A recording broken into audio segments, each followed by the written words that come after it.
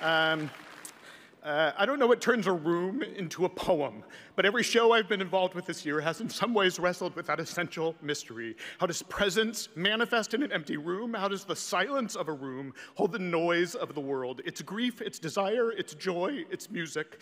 What story, whose stories, whose voices stay in a room once they are gone, and by what alchemy are those voices amplified and brought back to life? The pursuit of these questions is something I am very proud and very honored to spend my life doing, and I'm doing it in incredible company. I love everything about Stereophonic.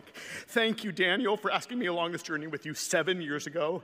To our producers, especially Playwrights Horizons, and John and Sue for leading with generosity in this process always asking us what we needed, not telling us what we couldn't have. Personally, myself and my husband uh, have needed generosity and the strength and support of all of my colleagues this year more than ever, and I have been truly overwhelmed by your humanity.